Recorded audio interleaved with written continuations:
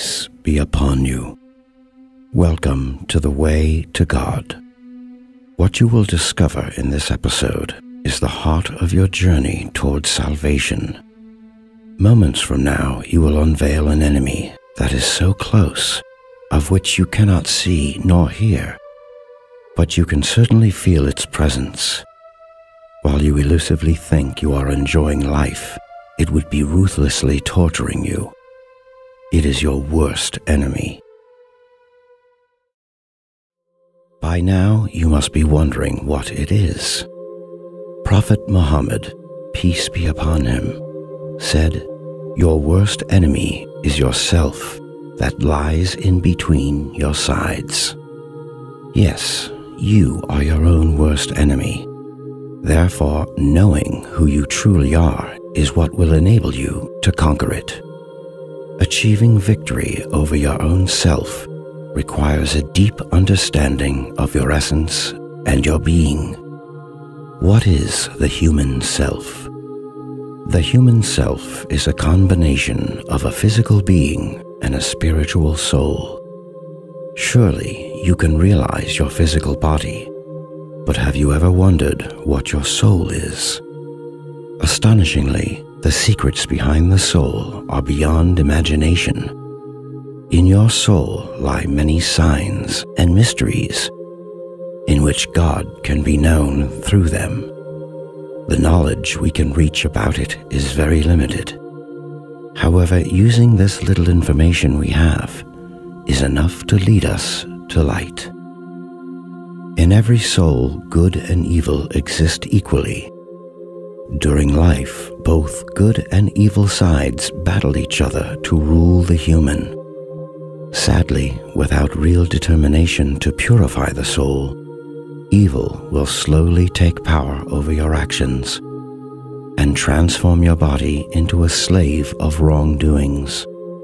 It is really important to admit that an unpurified soul does not only corrupt the faith of the individual, but unjustly the people around. This makes the self your worst enemy. It is now clear how the soul drives the body. But then, do you not wonder how the soul is driven? God Exalted provided us with instinct forces that we can use for good or evil actions. The two main forces are anger and desire. Anger created in you to build your courage, but misusing this force leads to sin through cowardice and irrational actions which harm you and others.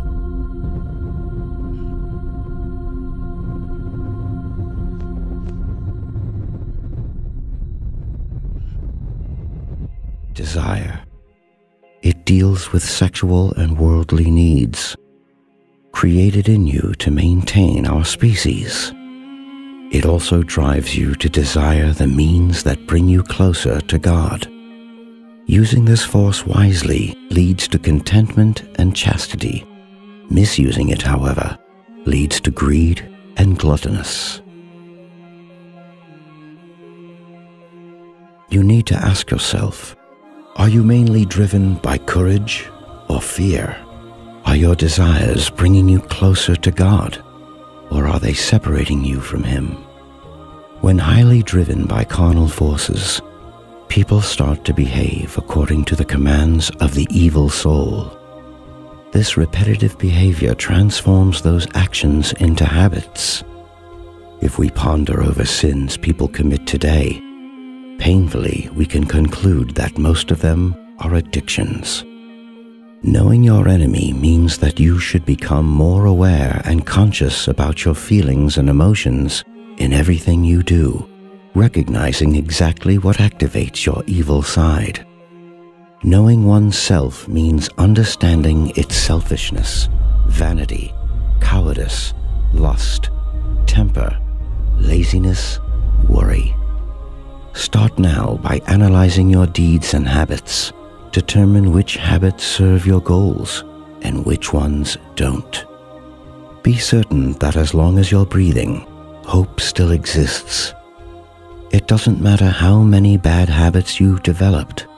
Be certain that you can diminish the evil commands and become whoever you want to be.